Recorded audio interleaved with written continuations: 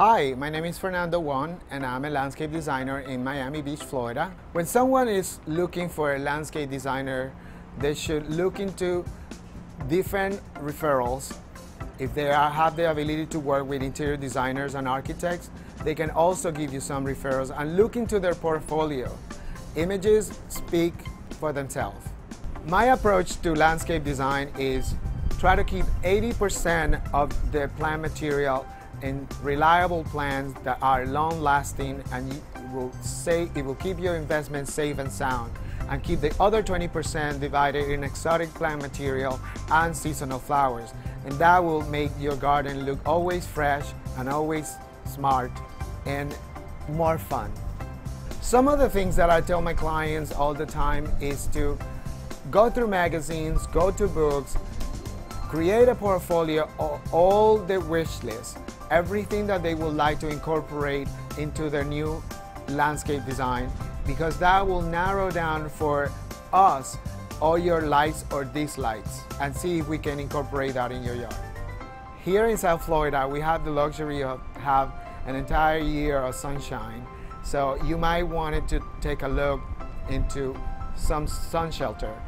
And you can get that with large canopy trees, palms, or trellis with a beautiful variety of vines that are going to be providing you with blooms. Some of the trends that I have seen uh, in my latest clients has been um, incorporating LEED certified uh, gardens because water restrictions, also uh, outdoor kitchens with um, sound system and television as part of the totality of the package. They want you to control all of these things and they want all the mechanics to be hidden as well.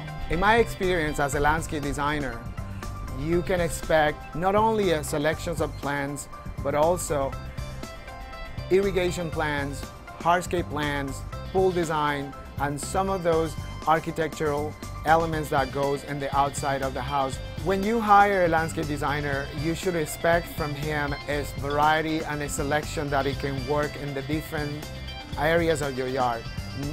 Every single area of the house is not going to be exactly the same.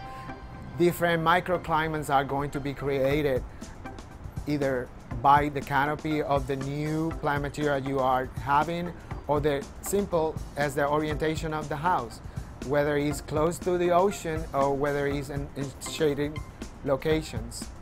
My philosophy in landscape design, I approach it this way. The house is the main character. Everything that I do, it frames that main character and it should work as a frame. I hope that you learned something today.